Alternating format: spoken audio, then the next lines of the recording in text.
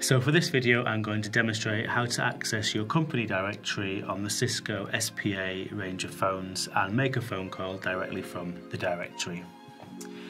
Uh, so on the handset here you will see that there is a DIR key.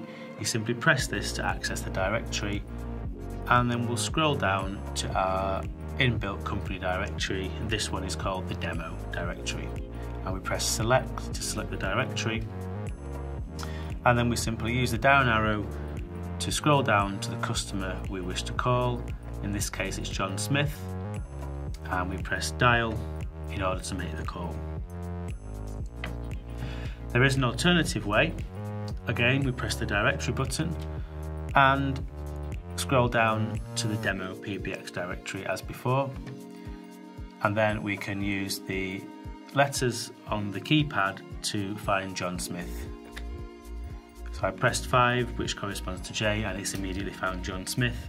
And then we press dial, and again it will make the call. And that's how to use a directory system on the Cisco SPA range of phones.